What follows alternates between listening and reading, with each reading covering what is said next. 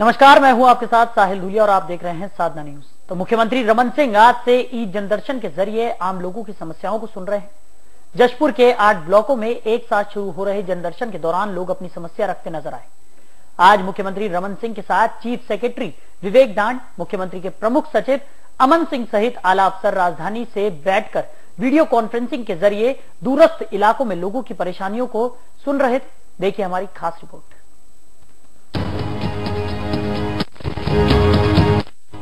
वैसे तो में कई दिक्कतों का सामना लोगों को करना पड़ रहा है, जिससे निजात दिलाने के लिए रमन सिंह ने ई जनदर्शन का कार्यक्रम रखा। तो अब तक बिजली नहीं पहुँचने को लेकर मुख्यमंत्री रमन सिंह ने कहा कि जशपुर में बिजली की समस्या सबसे अधिक है, ये बात वो मानते और पूरे ज़िले को जल्द ही विद्युतीकृत कर दिया जाएगा। दुलदुला ग्राम पंचायत के सुरजुला गाँव के आवेदनकर्ता की बात पर उन्होंने कहा कि एक महीने यानी तीन फरवरी तक उनके गाँव तक बिजली पहुँच जाएगी।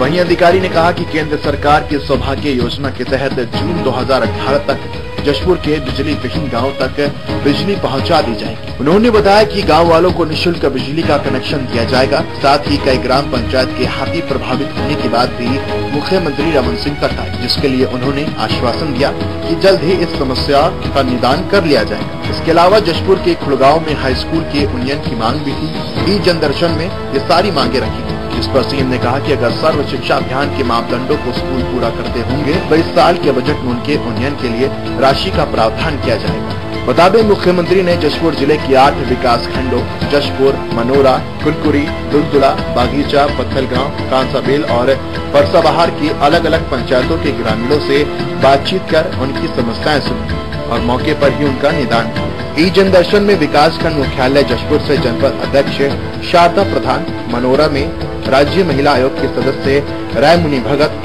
कुनकुरी में विधायक रोहित साय दुलदुला में राज्य लघु वनोपज संघ के अध्यक्ष भरत साय, बगीचा में विधायक राजशरण भगत और जनपद पंचायत उपाध्यक्ष मुकेश शर्मा पत्तलगांव में विधायक शिवशंकर बैकरा कांसाबेल में जिला पंचायत अध्यक्ष गोमती साय और परसबहार में वहाँ के जनपद पंचायत अध्यक्ष वेद प्रकाश भगत मौजूद रहे। ई जनदर्शन के दौरान मुख्य सचिव विवेक डान प्रमुख सचिव Aman Singh S K Khetan R P Mandal Subodh Singh Siddharth Komal Pardesi समत कई आला अधिकारी मौजूद थे।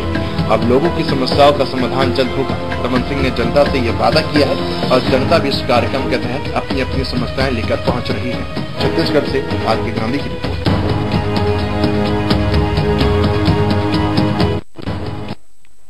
तो आइए आपको सुनाते हैं सीएम रमन सिंह ने ई जनदर्शन के ज़रिए क्या कुछ कहा।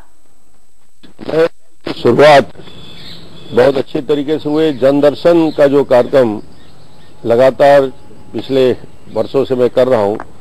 अब नई तकनीक, नए युग और नए तरीके से ई जनदर्शन की शुरुआत आज हमने किया है।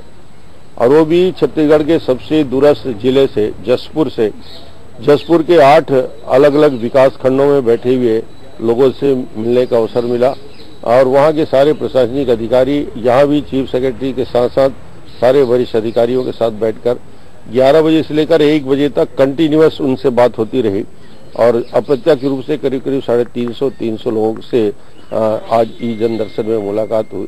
इन सब का समस्या का निदान हुआ। स्व सहायता समूह की महिलाएँ बहुत वहाँ एक्टिव है। परिवहन की दृष्टि से कैसे काम कर सकते हैं? पंचायत के डबरी निर्माण की बहुत ज़्यादा उत्सुकता लोगों ने दिखाई।